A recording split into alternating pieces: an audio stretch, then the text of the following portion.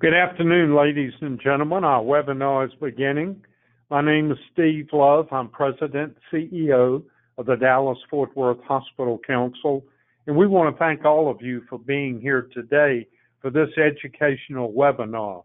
And it's hosted in coordination with PYAPC, and they're an associate member of the Hospital Council. PYA was built on the principles of outstanding client service, giving exceptional advice. Since 1983, PYA has consistently ranked among the top 20 healthcare consulting firms in the United States and is a top 15 auditor of the nation's largest health systems. Our topic today is federal legislative and regulatory update. And hospitals have obviously spent the last four months or five months focused on COVID 19, but we can't forget the other issues that we must prepare for as we look towards next year and the events of 2021. This session is going to address many of these concerns. They're going to include appropriate use criteria, transparency, site neutral payments, the future of the Medicare Trust Fund, and the overall federal budget. We're delighted our speaker today is Kathy Reep, and Kathy is a senior manager at PYA. She has had more than three decades of experience in healthcare, much expertise in compliance, financial advisory work, reimbursement, managed care, and revenue cycle work. Kathy has helped clients with Medicare, Medicaid, workers' comp, reimbursement, and many other complex programs and issues. Prior to being with PYA, I had the honor of having Kathy, when she was with the Florida Hospital Association, actually come here to the DFW Hospital Council and she presented a program at that time on recovery audit contractors when they were first coming out. And she did an excellent presentation. So we know her presentation today is going to be equally important, equally informative, and we hope that you will listen and ask good questions. And so it's my pleasure to now turn this over to Kathy. Miss Kathy Reep. Thanks, Steve. I really appreciate that kind introduction. And I really wish that we were actually doing this in person, like we were able to do the with the recovery audit contractors. However, um, I guess COVID all, has managed to get in, into in the way of a lot of things. But I also, by the time we're done with this, you can't really do a legislative and regulatory update and share a lot of good news. So it's kind of like doing the RAC presentation. Um, I don't want y'all to throw things at me and, and that you are watching from either your home or um, your office. Um, it's going to be harder for you to get me this way. So let's kind of, Steve gave you an idea of the different things that we're going to touch on. So let's just go ahead and begin. Um, the first area that I really wanted to talk about actually goes back to earlier this year, but I guess I would say missed in all of the hubbub of COVID. But we did get the president's budget proposals for 2021. The reason this issue is important now is because we have to have a budget. We need we will probably have a continuing resolution, maybe even as early as um, Friday or early next week to keep the um, government open. We literally, we've got to have something by um, October 1st, but that would just be a continuing resolution. It merely keeps us open, kind of keeps the status quo. But what are the things that have actually been looked at that would impact hospitals from a budget perspective and that could actually come into play in 2021? Just walk through, first of all, when we start talking about the administration's budget and what the um, president submits every year to Congress, um, you need to recognize that what the president submits is non-binding, um, but it almost becomes, I want to say, a Chinese menu Uh, pick one from column A and one from column B. The reason I say that is we have this monstrous list of things that will reduce spending um, that is pre- presented by the administration. And then all of a sudden, let's say we want to increase funding for a particular item. Well, how do we pay for it? Oh, here's a list of things to choose from. So we need to pay attention to the president's budget proposal because this is presented to Congress with dollars attached to it. And then all of a sudden, when they need to pay for another item, and before we're done today, we're going to talk about some of those things they need to pay for. Um, it's kind of a good idea to um, know what they, what are the possibilities. So let's just kind of walk through a few of the things that were included in the uh, administration's budget. The first section that I have here related to Medicare. Currently, you know that um, under Medicare reimbursement, you get reimbursed uh, 65% of your Medicare bad debts reported on the cost report. They reimburse you a portion of that. They are the president's budget includes a proposal to reduce your reimbursement from 65% of um, what is reported to 25%. Well, I can picture people who are saying he might not get reelected, this will go away. No, this particular provision has been there for several presidents. This whole option of reducing Medicare reimb- reimbursement, actually, I should say for several administrations, uh, because it was there under the Obama Biden administration uh, to reduce your reimbursement for Medicare bad debt. So it's not likely to go away. And it is a, an item that provides significant revenue back into um, the federal government. There is also discussion of Medicare disproportionate share payments. These are the payments you receive for providing care to a large number of low-income patients. Um, and to actually remove disproportionate share from linking it to Medicare payments, index it to inflation, and just pay lump sums to providers as opposed to tying it into a per case payment amount. An area that I'm going to, I've actually been spending considerable time on lately um, relates to post-acute care because some of you might say, well, I'm a psych hospital or rehab, none of this applies to me. Um, but if you are psych, if you are uh, long-term acute, skilled nursing, home health, um, uh, rehab, CMS is looking at developing a unified post-acute care payment system. This was called for under the Impact Act uh, several years ago. That was passed, and the idea is to develop a single payment methodology for post-acute care. Um, the, the facilities that would tend to lose under that would be the long-term acute care hospitals and the inpatient rehab facilities. Your SNFs and home health agencies would probably come out um, with higher reimbursement um, once they um, develop a single program. Um, they are also looking at for the um, requirement currently for long-term acute care hospitals to for patients who are transferred to LTACs to have been in an acute care stay in the ICU for, for at least three days. They're proposing to raise that to eight. That has a significant impact on your length of stay for patients who wind up having to stay in your acute care hospital in order to be acceptable for transfer to LTAC and for that LTAC to receive its full level of reimbursement.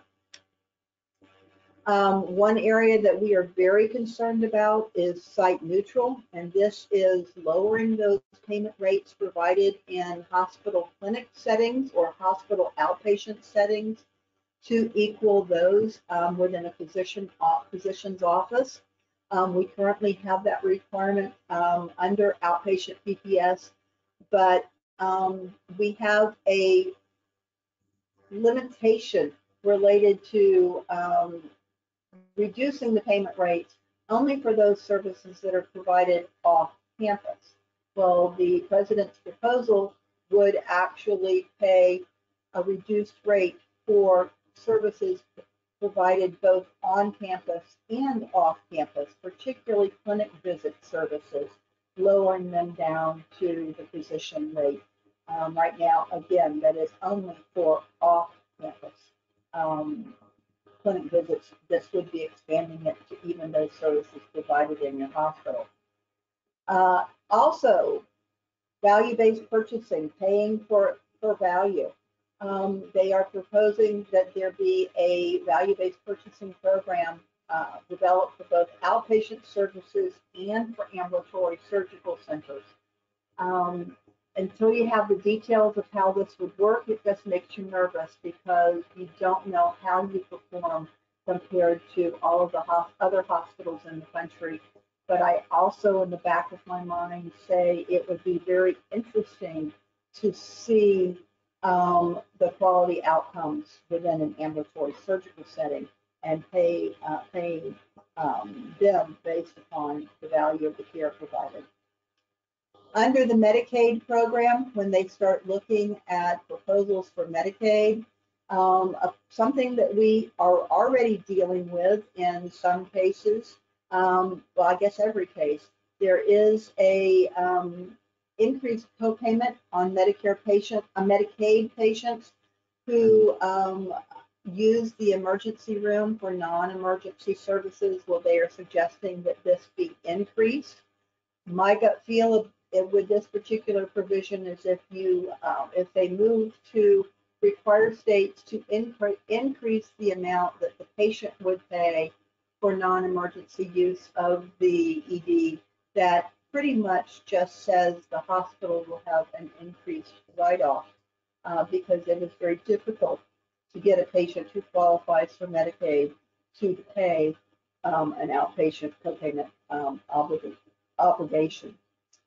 Uh, something that we have seen during this administration um, that has caused concern um, relates to um, limiting Medicaid qualifications to um, those individuals who have a green card, who are considered within the appropriate level for immigration, um, and that there would be a requirement to increase the documentation requirements for immigration status prior to approval for Medicaid.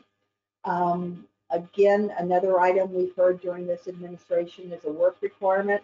Um, this this is in the budget again, and um, a limitation on public hospitals that would limit their Medicaid reimbursement to uh, the cost of providing care, would not give them anything above actual cost of care. So that just gives you an idea of some of the Medicare and Medicaid provisions that the administration included in their budget proposal. We just need to be concerned what carries through. Um, and um, even from one administration to the next, if there is a change in 2021, what will Biden's um, budget proposals be um, in terms of um, reducing overall spending under the Medicare and Medicaid programs? We're going to keep going through this and then we're going to do questions at the end.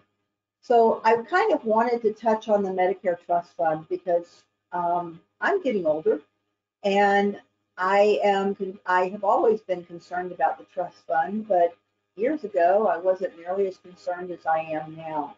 And I would say I, last year, I was not as concerned about the trust fund as I am today, and we'll talk about why. So let's kind of look at this from a Medicare trust fund perspective. Kind of hidden in all of the um, COVID issues was the fact that in April, the, um, the Hospital Insurance Trust Fund, the trustees, issued their annual report on the status of the trust fund. The main thing that was covered in the media, although it wasn't very much, was the fact that um, they said that the trust fund would be exhausted in 2026. And that was the same thing that they had said in 2020, 2019, was that we were looking at a 2026 um, expiration date or exhaustion date for the Medicare Trust Fund. Um, the trustees report essentially said that the income for the Medicare program um, would be, uh, for the trust fund, would be only sufficient enough to pay 90% of scheduled benefits. Um, we screened, we thought, we are concerned about it coming back, sequestration. That was a 2% reduction in your Medicare reimbursement. Now what we would be looking at is a 10% reduction in your reimbursement. Um, and that does get very concerning in terms of the future of the trust fund. But now let's look at what happened and the breaking news just a week after the trust fund report was issued.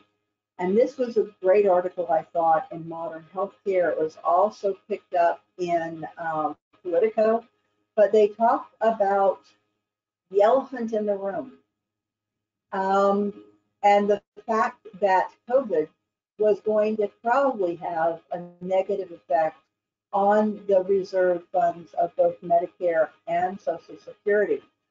Um, based upon the most recent analysis of the impact of COVID, was recognized that spending did go up and we had fewer dollars paid into the trust fund. Remember the dollars that are paid into the Medicare Part A trust fund. Essentially, it's that 2.9% um, um, payroll tax, 1.45 paid by the employee, 1.45 by the employer, that goes to fund the Medicare Trust Fund. Um, however, we had a large number of people who became unemployed, and therefore that has a negative consequence on the dollars that are in the trust fund. We are now looking at a date. This is about uh, the, the trustees report came out early April. This was late April, um, but the report is now saying we're probably looking at something closer to 2023. Now we will have a trust uh, trust fund report that comes out early next year. Um, very concerning in terms of where that's going to take us and what it's going to say in terms of the future of the Medicare Trust Fund. Um, and they, in one of the articles, it did say that it's too early to say what the impacts are going to be of this uh, pandemic, but they are generally going to be worse than presented under the intermediate assumptions in this report. So remember the intermediate assumption was paying out at 90%. Um, and they're saying it could be worse. Worse. Um, there was actually some discussion um, by the tr uh, trustees saying that once we weigh in all of the implications of the increased costs of care and decreased payroll tax revenues coming in, quote unquote, the situation will go from bad to worse. And what does it mean when we say that the Medicare Trust Fund is exhausted? Um, this is actually from the trustees report. And it says that if assets were depleted, Medicare could pay health plans and providers, because remember the health plans are paid through this trust fund as well, only to the extent allowed by ongoing tax revenues. And these revenues would be inadequate to fully cover costs. So they're going to pay you less, but they're also going to probably delay payment because you've got to allow money to come into the trust fund. Um, I was one, I am on a credit union board many years ago. We were struggling as a credit union and we could only make loans to the extent that deposits came in.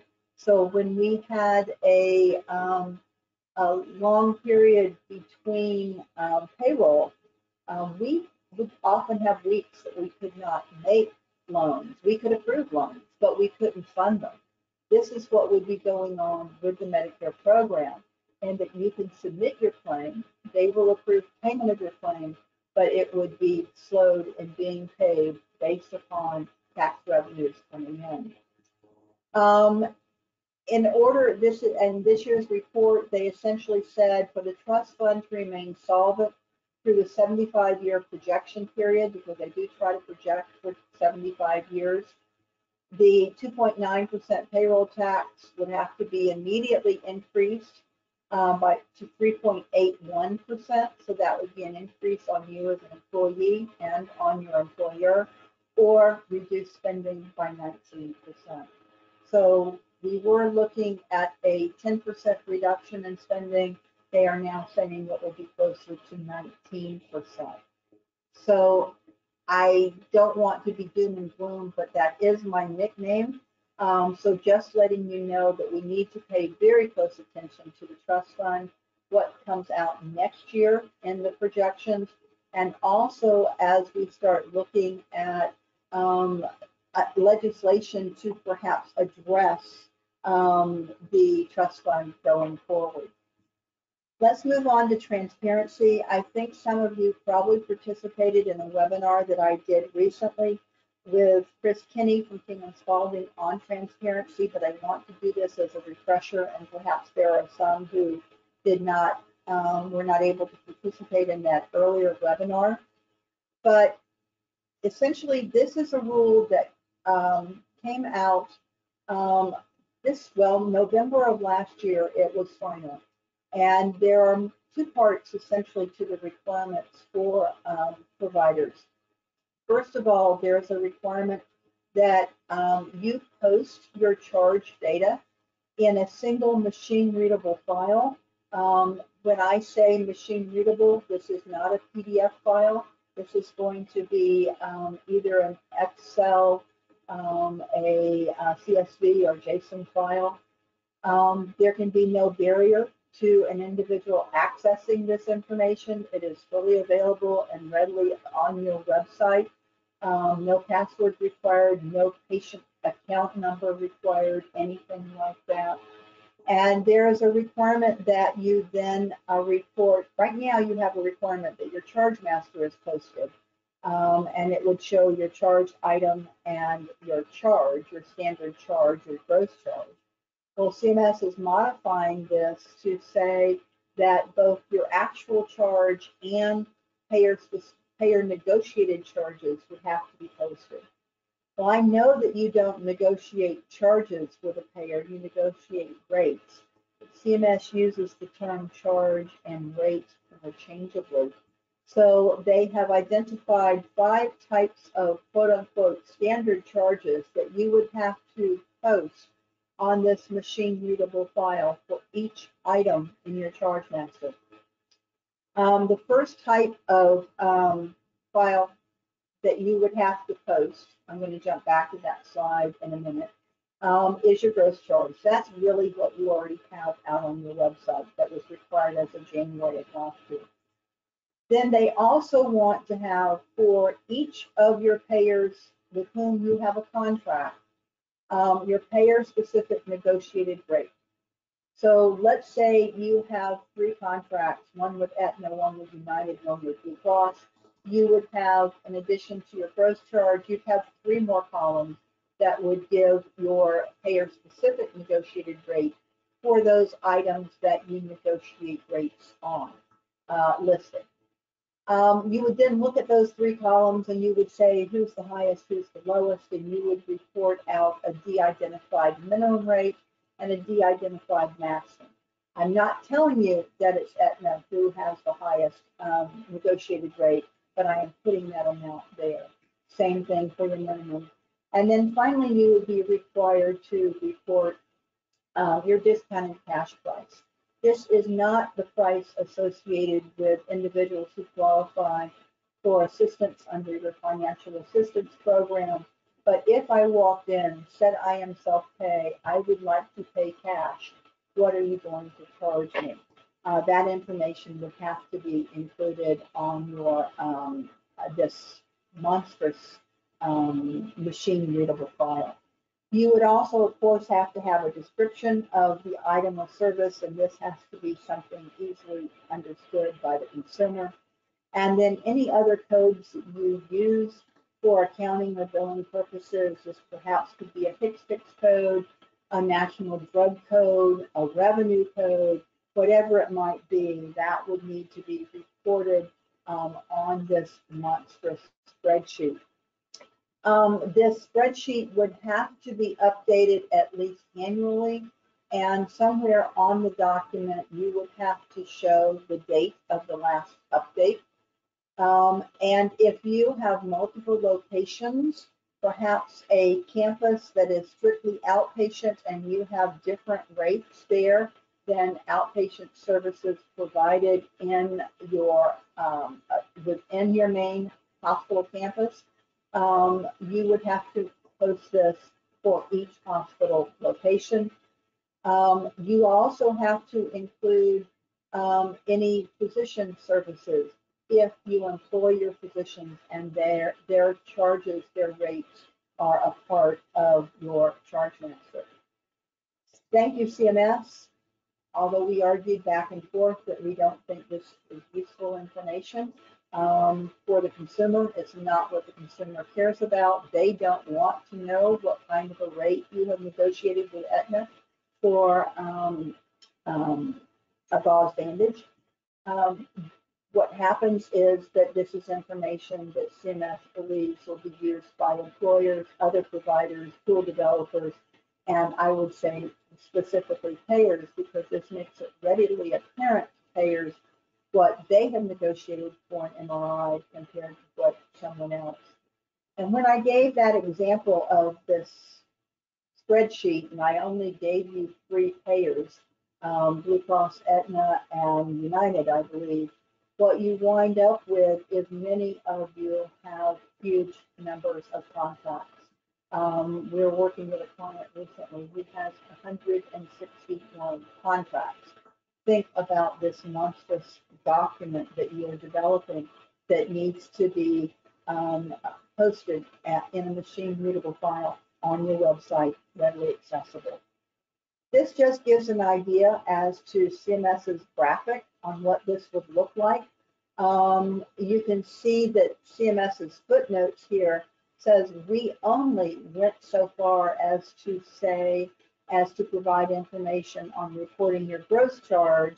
Um, hospitals must also make public the payer-specific negotiated charge, the de-identified minimum, the de-identified maximum, and the dis discounted cash price for all items and services. So they have made this look easy. It is not easy when you start adding all of those other columns for all of your various payers to this document.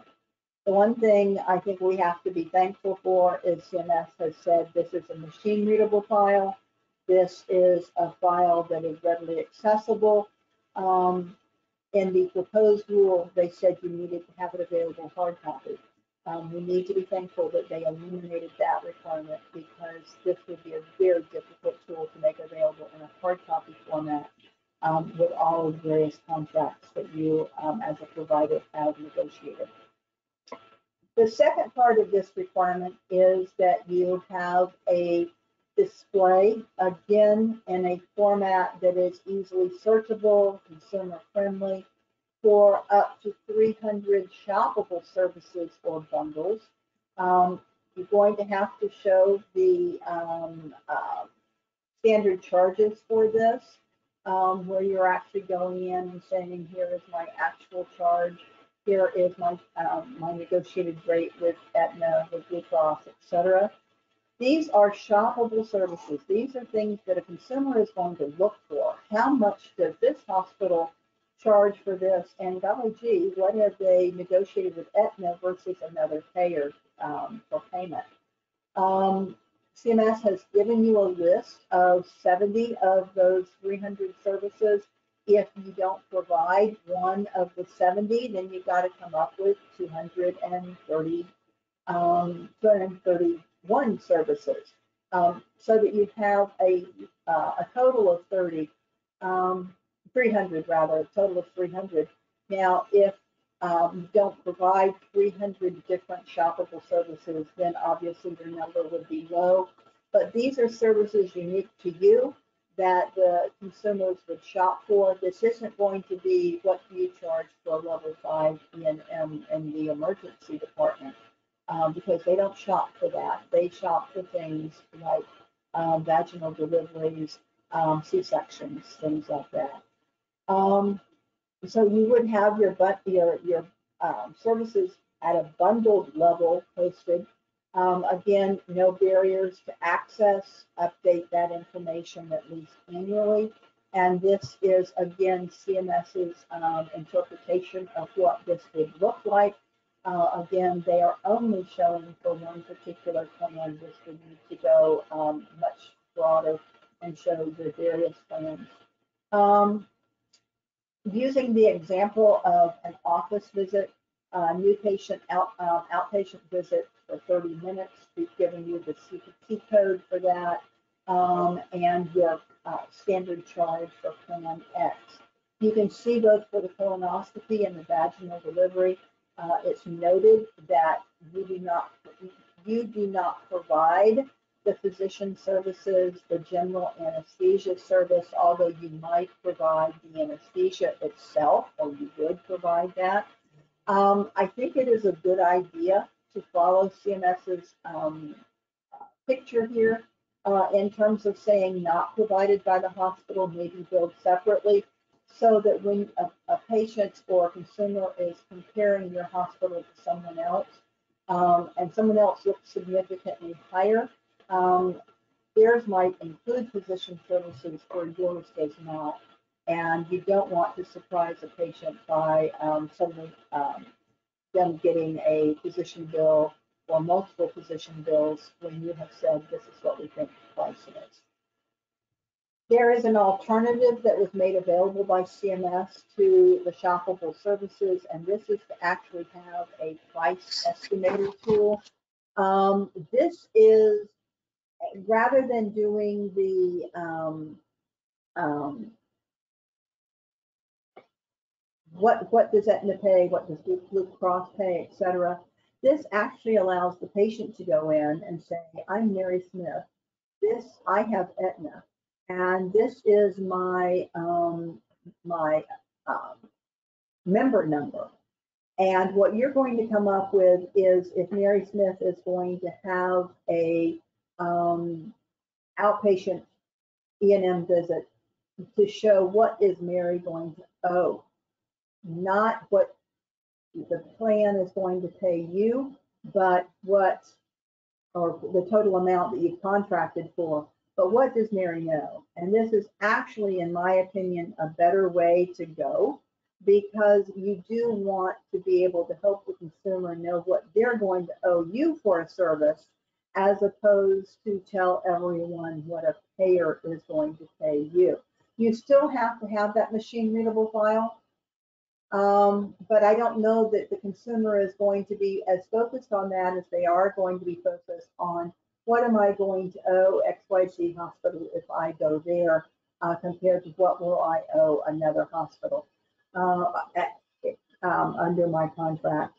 And this is how the consumer is going to help get uh, better information about um, uh, in-network, out-of-network providers, etc. Um, but this is what the patient really wants. So if you have not moved forward with uh, becoming compliant with this rule, the compliance date is January 1, 2021. Um, then you do need to start spending some time looking at how you're going to do this. And I urge you to think about making a price estimator tool available um, as opposed to just that listing of shoppable services. Um, let's move forward with some proposed and final rules for 2021, just to make sure that you know what else is on the horizon. Um, we do have a final rule for the inpatient prospective payment system. Um, we are seeing an increase of about 2.9% in the payment rate, going up from about $5,800 to um, closer to $6,000 as your base rate. I think you are all aware that your um, your base rate has been multiplied times the weight of an individual DRG. All of that has been adjusted by that base rate adjusted by your area wage index, come up with your payment rate under the Medicare system.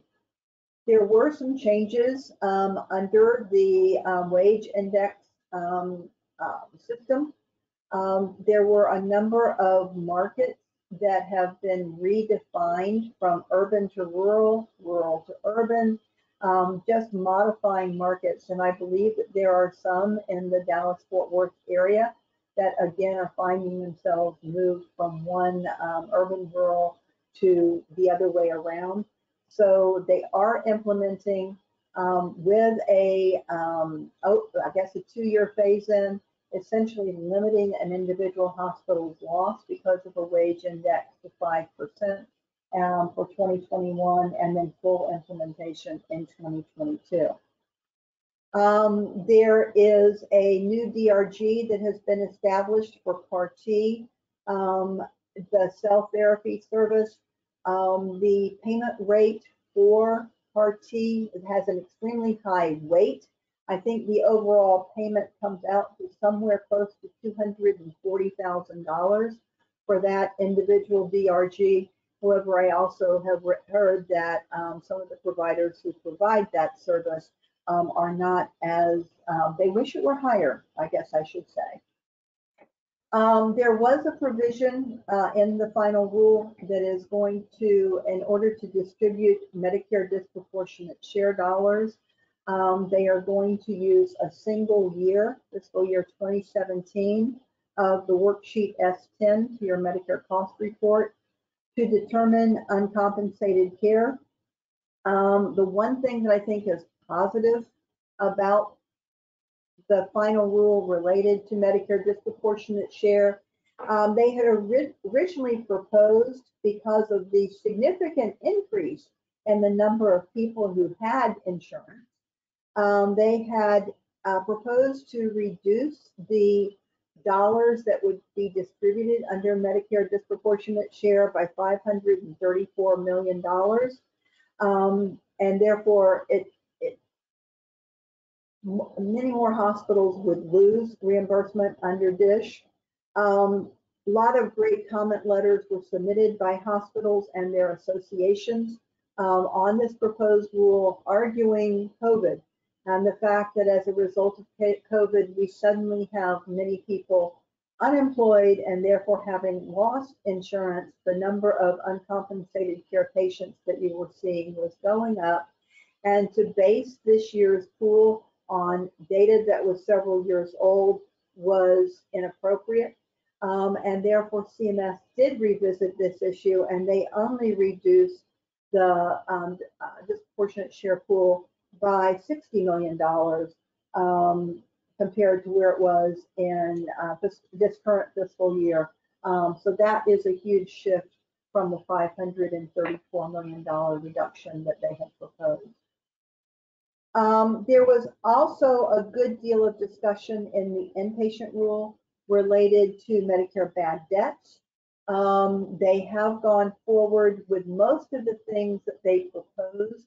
Um, the slides give you an idea as to what we were looking at. First of all, a similar collection effort between Medicare and non-Medicare accounts with like amounts. You can't claim a bad debt while it's pending at a collection agency. This next particular provision is one that I am concerned about because I think it does change the way you deal with the issue of indigency. Um, you can no longer rely on a signed declaration by the patient that they do not have income or that they're low income. Um, you're going to have to do independent verification of the patient's claim. Um, they had proposed to require you to look at income, assets, expenses, and liabilities. Um, that would have been a nightmare. Um, they have come out in the final rule to say that you only need to look at income and assets. I think that is hard enough because does that mean you are going to be asking a patient not only about their income, but also um, what they have in the bank um, their retirement, the value of their house, do they have a car that could be refinanced, things like that. I do not envy anyone in the business office having to ask those questions of a patient who can't pay their bill. So um, I, it's something that really concerns me. And this is effective October 1. So I do think it's something that you need to start definitely paying attention to and looking at your processes within the business office. Um, just concerning when we can no longer rely on the patient saying, I can't pay, and we have to do more in-depth verification. And we look at this as a staffing issue. Do you have the staff to do that independent verification as well? Um, uh, there were some other, um, bad debt revisions. Um, the one that I am most concerned about. We know that we have to send the patient, um, we have to bill them, uh, no later than 120 days after the remit.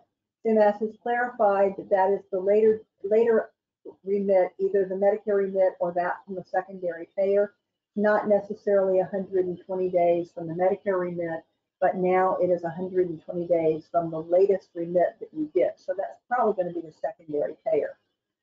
Um, but the one that really bothers me is that in terms of writing off the bad debt, your 120 day or 121 day period resets after each partial payment. So you have a Medicare patient who owes you um, a thousand dollars and they send you ten dollars. That resets their 120 day, 121 day period. You, you have to wait. It can be no. You have to wait 121 days after issuing the bill before you can write it off. Um, I honestly, and again, um, y'all will get to know me, but I am sometimes too negative about this stuff, but I don't know of a lot that's positive um, when we're dealing with Medicare regulations. But I pictured um, the little newsletter that comes out from AARP telling seniors when they need to uh, look at their budget and have trouble paying all of their bills, you only need to pay a partial payment to a hospital um, every uh, 90 to 115 days because then they're going to have to keep carrying you. I just picture that coming out, and I do think when it does, uh, I'm going to frame it. Um, but I I am concerned about the clock resetting every time the patient makes a payment, and it's not a um, there's no requirement that they make a um, rational payment, but as soon as they make a payment, the clock resets.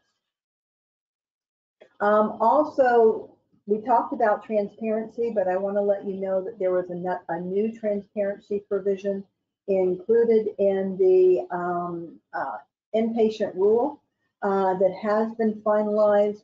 Essentially, adding to your Medicare cost report will be a requirement that for every MSDRG, um, you come up with a median. This would be across all of your Medicare Advantage payers um, a median payer-specific negotiated inpatient service charge.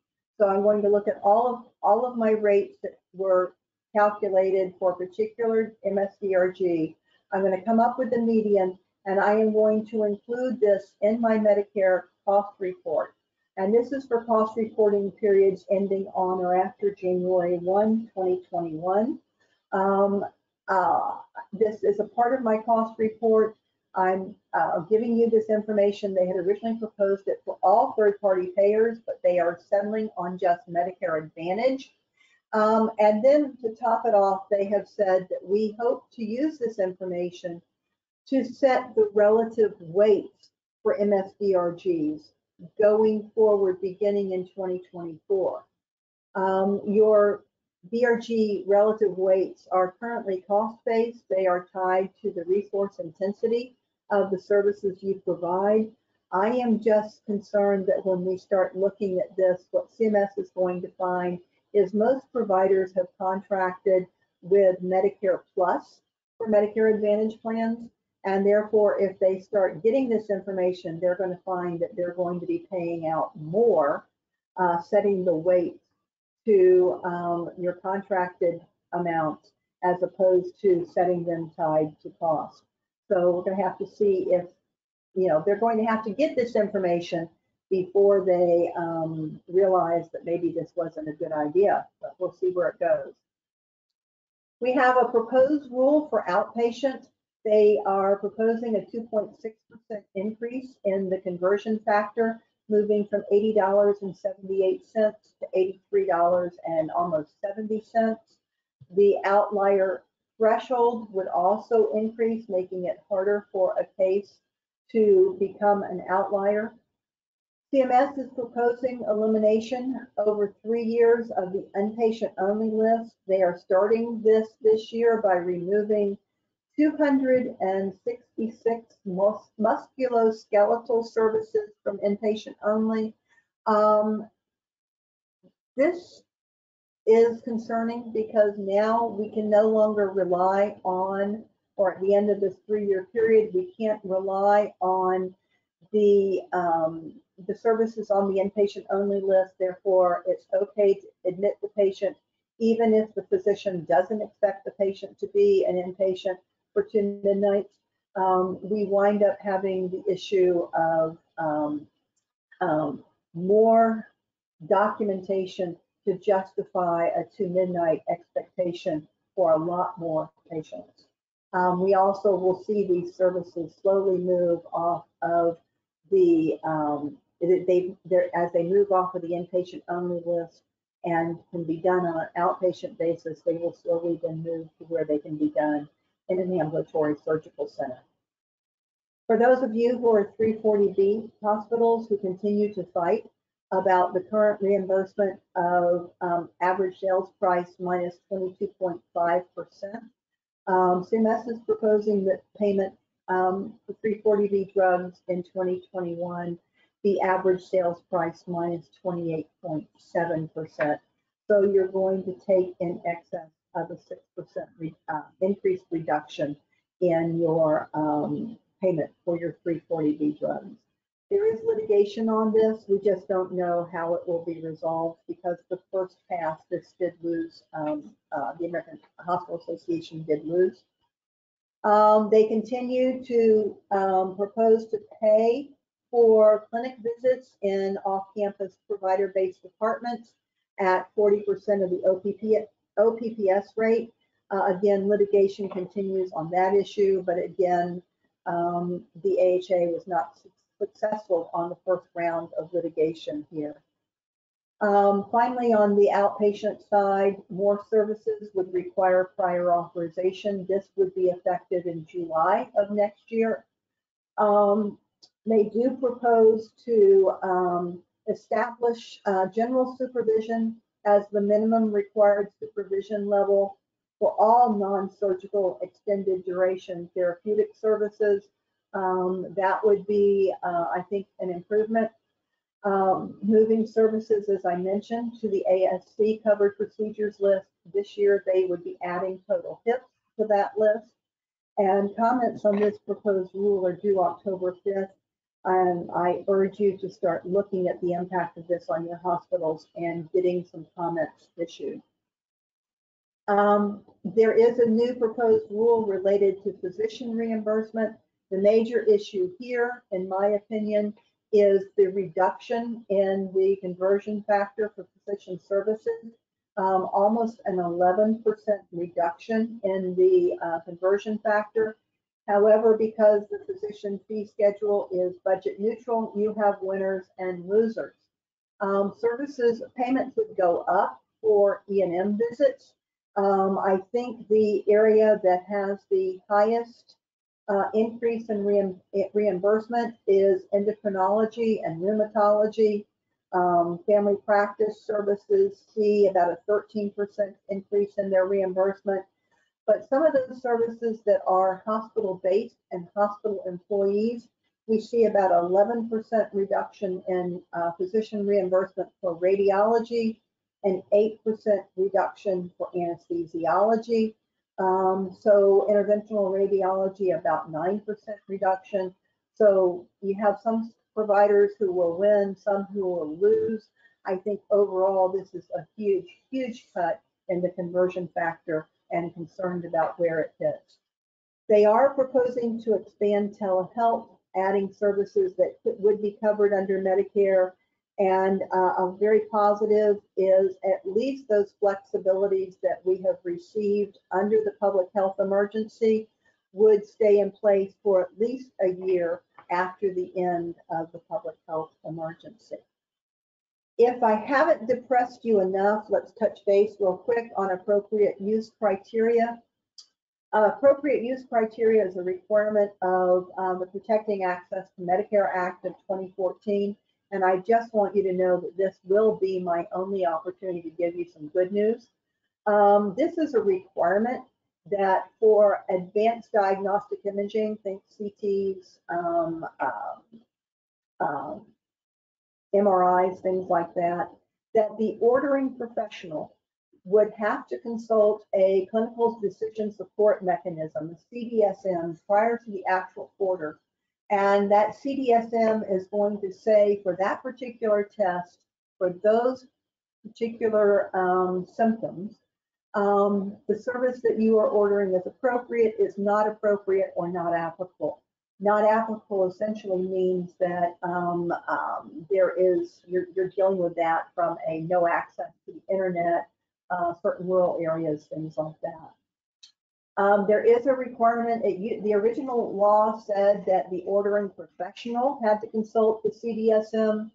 They have now modified that to say that the CDSM could be consulted by someone who is under the direction of the ordering professional.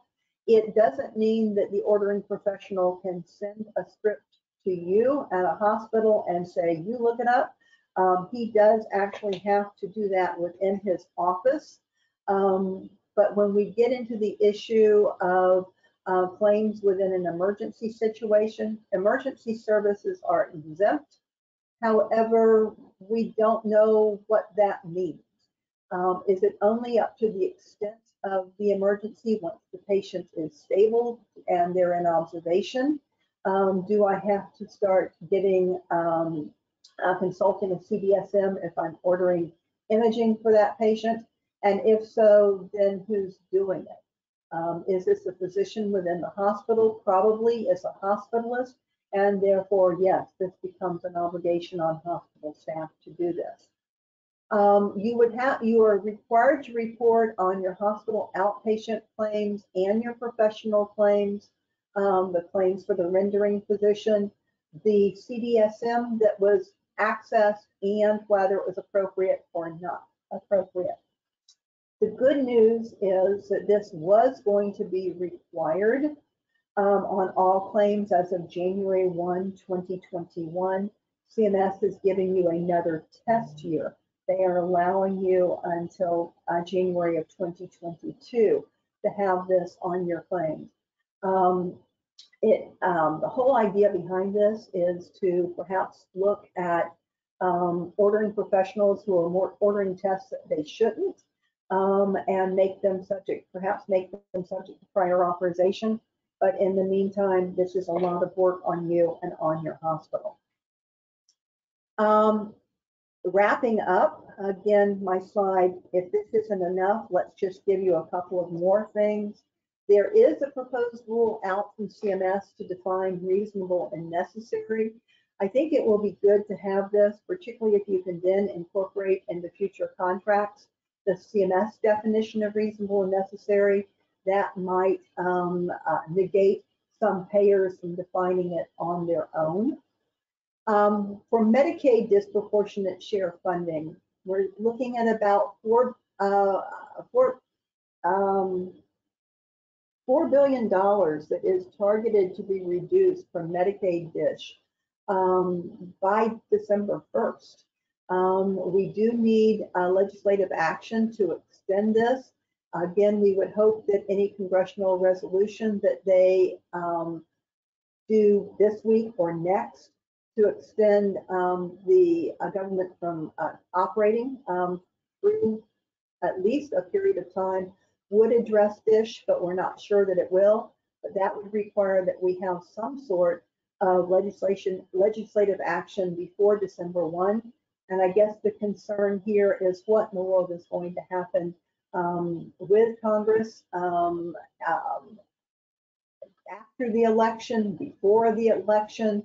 Um, everything is in such turmoil right now, just concerning in terms of where this is going to take us.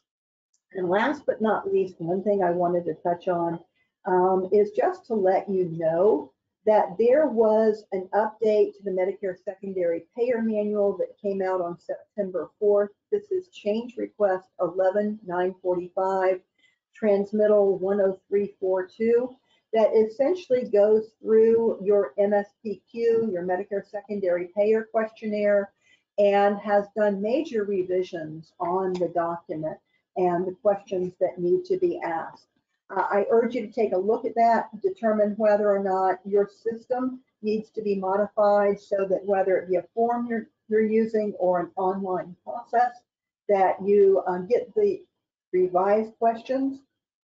Um, the first page of the transmittal where it actually gets into the questions, um, I, you know, I was looking for minor modifications. It begins with in black, um, the section number, model admission questions to ask Medicare beneficiaries. Also in black, it says the following, the rest of the page is red. They have modified that entire page. They have also modified, I would say, 90% of the second page of questions. So make sure you take a look at that and that you are now asking the right questions. This is an effective date of December 7th. So Steve, I turn it to you and your team for questions. Yeah, thank you, Kathy. Great presentation. We do have some questions that have come in, and as Chris is pulling those up, people asked about the handouts. And with your permission, Kathy, your presentation, Chris is going to send out to all the people uh, that registered for this webinar, if that's okay. Absolutely. Great. The first question, what is your interpretation of de-identified since you have to post the payer charges? Will it not be obvious uh, that you have shown which one is minimum or maximum? Isn't this a duplication? It is a duplication of one of your negotiated rates, uh, or actually two, the high one and the low one. Um, but again, think about looking at this from a spreadsheet perspective and the fact that um, um, you have lots of contracts. It's going to be obvious. You're not going to have to sit there and stare at all of them. The other thing, and I hate to say this, but I'm being spiteful today, uh, I said on that particular slide that this is expected not to be used by the consumer, but by employers, insurers, other providers, et cetera. Everybody's going to want to know what is your lowest rate for an MRI um, because they're, and it'll be a quick and dirty look. And I think it's, I, I don't support that it being there. It should, we should be making it a little bit more difficult, but uh, it is in the final rule that we can, we determine ourselves the de-identified minimum and maximum. So let me, well, by the way, the person that asked that question went precisely. Thank you for your good response, Kathy. Now, Oh. here's another, yeah, here's another question. Do you have to identify each payer negotiated rate by name? For example, Blue Cross PPO, Blue Cross Open Access, Aetna, Cigna, etc. Yes, because you probably have a different rate with each of them. So you are going to have to do that. Contract you have signed, you are going to have to do this. You're going, now, if it's a contract with Indian Health Services, you are exempt. Okay, um, but for, and you, you don't have to do this for Medicaid. Um, this is really going to be for your commercial contracts, but yes, you do have to list them all, column after column after column. Okay. I have a question for you, Kathy. It's been a long time since I worked in a hospital, but I spent the most of my career there. And on one of your slides where you showed, which I know makes logical sense, if you've got an account pending with collection agency, you can't claim it as bad debt. But here's my concern because I've had discussions, I'll use that word loosely, with Medicare auditors before when you pull it back and they come in and you say it's not pending, they go, well, you discontinue the collection efforts too soon. We're going to disallow it. Where is the balancing act between when you turn it over to a collection agency and when you truly determine you've exhausted your collection efforts? Uh, I think you need to have an internal policy on that. How long are you going to leave an account in the collection agency if they're not getting any results? Um, but also, and this is The main reason CMS has done everything that they did related to bad debts is because you were being audited um, to a particular standard that was not, had not really been promulgated. Um, auditors were using criteria that they had developed. The manual said conflicting information. This is now going through, and with this new rule, um, they will be able to update the manual and everything should be consistent so that you will be audited based upon Medicare reimbursement manual, um, not what individual auditors at the MACs decide to do. Kathy, that's all the questions we have. So what I thought I would do is give you a final thought or a final nugget of advice for our people on the webinar. We've been on exactly an hour. Terrific job, but I'm going to let you close it out and thank you very much. Okay, I'm going to do one thing, and I just want you to know, and this might be good news. I don't, again, I don't do good news, but um, there is a rule um, on display at the Office for Management and Budget. That means that there is a limited time period for this rule to either be published or pulled um, related to what is called transparency in coverage. And this will be a requirement on the payers to make information available to patients and others related to their contracts and patients' obligations and things like that. Um, that rule was proposed at the same time that the hospital rule came out. Um, they were given a extended comment period and um, about 20,000 comments were submitted. And now we are actually about to get um, a final rule. We've been looking for a final rule since probably March, and it will be very interesting to see what requirements are now going to be on the payers related to transparency. So that could be some fun reading um, once that is issued. So with that, you have my email address, folks. I am always available. Um, you know, wish again we had done this in person perhaps next year. But again, don't hesitate to reach out to me if I can be of assistance at any time. Thank you so much, Kathy. And everyone, appreciate you being on the webinar today.